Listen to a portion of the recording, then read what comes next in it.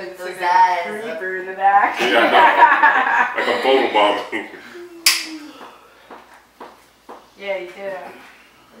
We'll tell them you were you were photobombing us. It's good. So, are we videoing or are we doing? Oh, you have video on this or uh, I'm just temporarily. or just or camera? I mean, I just I've been I've been taking lots of pictures. I just and this is video now. right now just So we're on day three in Clearwater, Flor- Florida.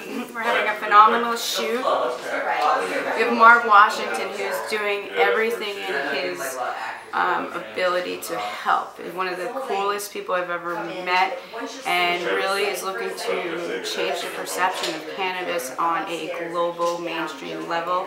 He wants to make the game safer.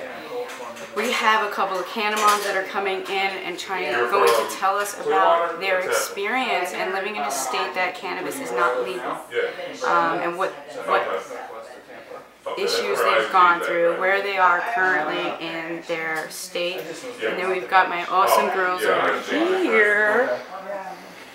From May? So we got like a little like a view action or talk. It's like From can of talk, can of nurse talk over here. So we got a cool little shoot going on.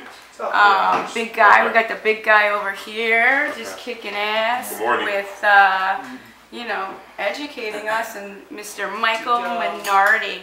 Um, hopefully, after this airs, we don't have to hire him because we're all in jail. But he keeps telling us we got issues and it's not right. So let's let's see where that goes. Um, in some counties, I had a, a prosecutor uh, threaten to charge someone 32 counts of paraphernalia for each rolling paper in the pack. I'm in jail. I got lots of Here? them in jail. We got our own brand. This bitch stupid. And they're gonna know it's me. Like they're not mine. They're not mine. They're like it's your That company. was my first medical necessity case. It was a kid with MS. They wanted to charge a kid with MS. He was, you know, 24. Right. Oh, okay, okay, I see. It was Um, hilarious. I'm like, you're kidding me, right? Oh no, they're not. No, he wasn't. No, it's not even hilarious. No, he told It's people scary. I'm serious. You're like, what? It was absolutely insane. Um, like, you guys- joking.